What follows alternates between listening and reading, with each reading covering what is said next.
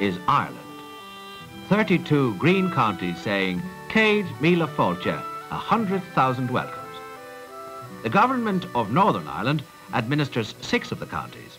The other 26 are in the Republic of Ireland. There's beautiful wild Donegal, and Killarney with its lakes, and there's Galway and Limerick and Kerry and Derry, and none of them at all is a long way from Tipperary. Green and silent, that's the way you find the countryside, just as it was when the Gaels lived here with their long fair hair and breastplates of iron. 1500 years ago, when St. Patrick came to teach the Gaels to be Christians, this was just the way he found things, green and silent. Green in the country and green in the city.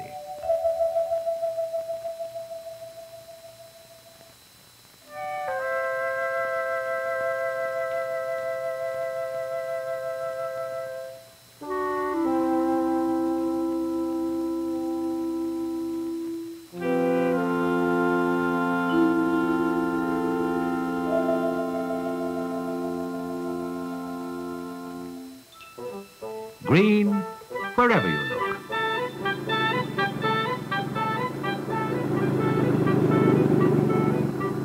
But the silence, we left that out yonder with the gorse and the heather.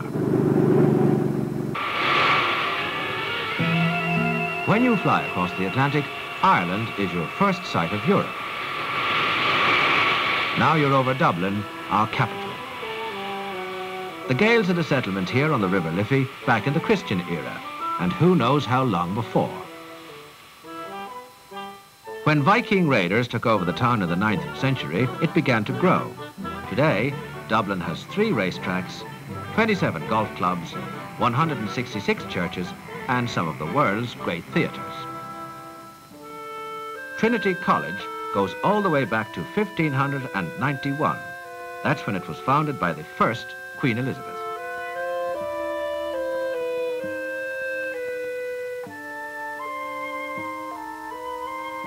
Its library holds a vast collection of books and manuscripts, ancient and modern. In the days of St. Patrick, Ireland became a great centre of Latin learning.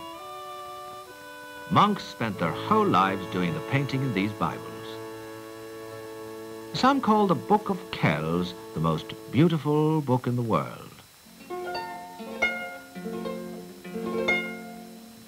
And here is this oldest of all Irish harps, made 800 years ago. The Irish have always been good at making music.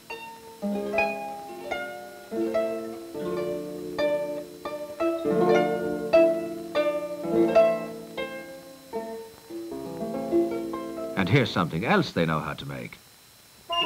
Whiskey has been distilled in Ireland since 1757. Some say they invented it.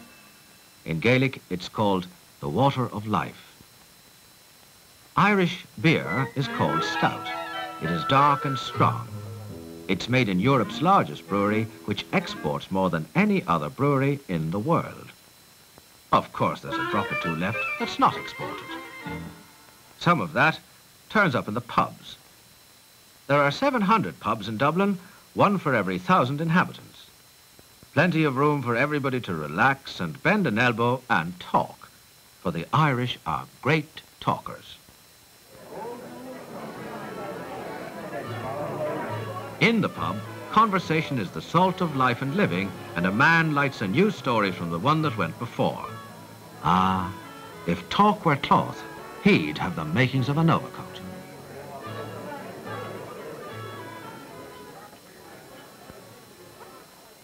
According to statistics, an Irishman is a rare creature. No other country in Europe has so few people, just four million altogether. But ah, what individuals you find.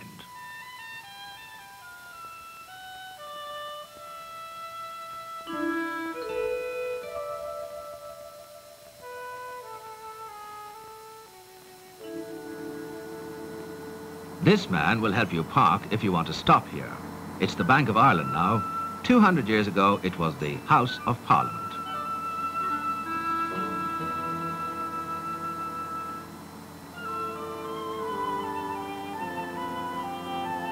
You call back Dublin's most glorious days when you drive along the north shore of the River Liffey. The Custom House dates from the 1780s. So does the Four Courts, the seat of our High Court of Justice.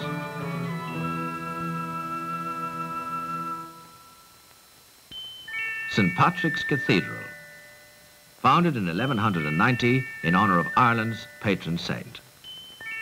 Jonathan Swift who wrote Gulliver's Travels, was once the minister in this cathedral.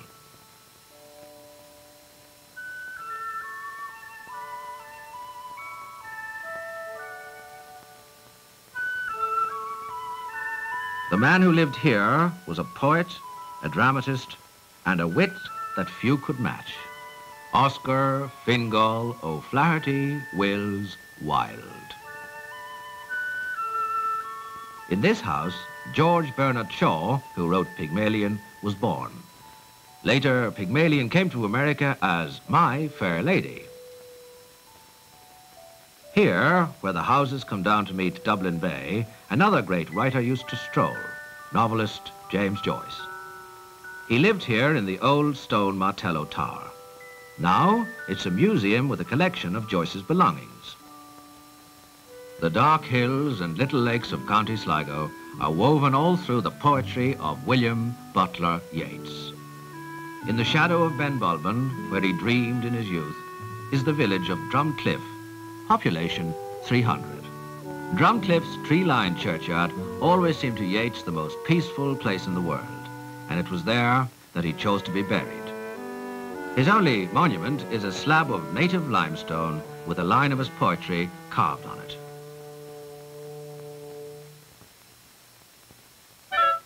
The 35th President of the United States was Ireland's most famous grandson.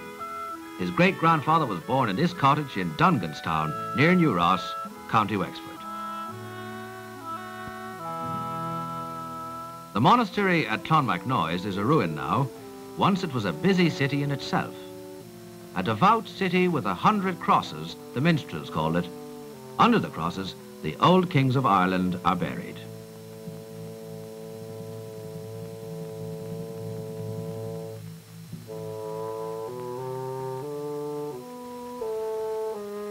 Here, on the rock of Cashel, the great King Angus was baptized by St. Patrick himself, and it was here also that Brian Boru was crowned.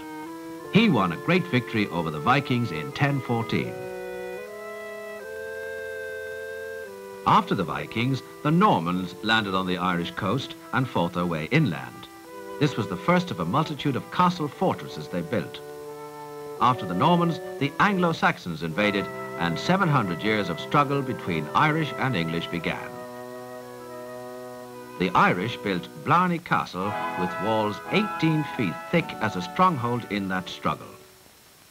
People come here today to kiss the Blarney stone and have the gift of the gab forever. Now isn't that worth a crick in the back? Even lords must make a living, and some Irish castles are hotels today. At Bunratty Castle, you can sit at an earl's table and eat stuffed boar's head in authentic medieval style. Your toast in honey wine might be Sláinte Joe, your health forever. There are 40,000 forts and castles scattered across Ireland. Ashford Castle is a sportsman's favourite because of the brown trout in Lake Corrib nearby and the game birds in its woodlands and the salmon in its rivers. On the shores of these lakes and in the hinterland of the rivers, the archaeologists have discovered wonderful treasures of pottery and jewellery and weapons once used by prehistoric men.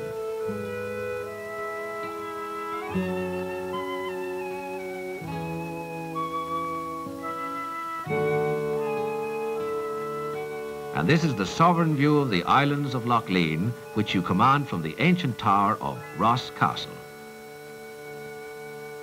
From here, it's just five miles to Killarney town. And with a horse like this, you can make it in two. That is, of course, unless you're held up by rush hour traffic like this.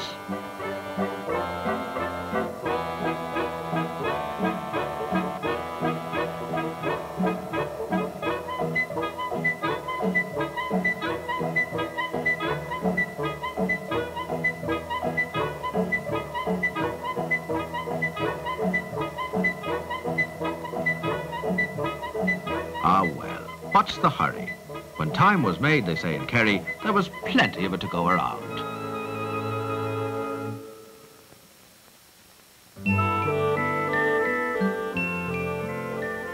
Ireland is only 300 miles long as the crow flies, but it has 2,000 miles of coastline because of the many bays and inlets and coves.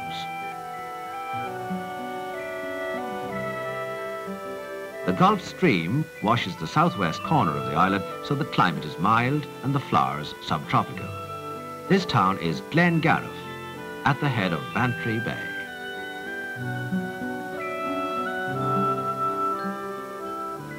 In the north, the coast turns wild and rocky. According to legend, the Giant's Causeway was made by the giant Finn McCool. According to geologists, cooling lava had more to do with it. Connemara is Ireland's Wild West. Imagine the surprise of the inhabitants of these lonely cottages on the day when the first plane ever to fly across the Atlantic Ocean landed here in 1919. This is a monument to the pilots. The main city of the west coast is Galway. Its Church of St. Nicholas dates from 1320. Christopher Columbus once came to pray in it.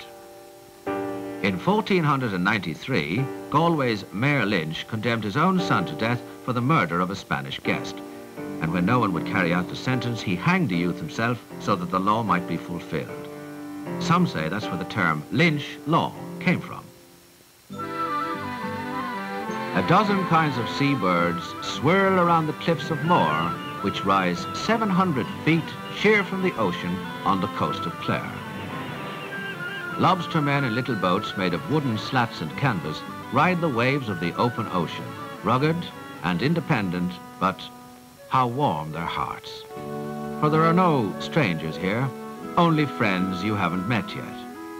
Ourselves, we call it the island of short grass and long friendship, where the rain comes down only when God sends it, and you can feel peace dropping slowly on the land with the sunset. Heaven's reflection we sometimes call it. Yes, this is Ireland.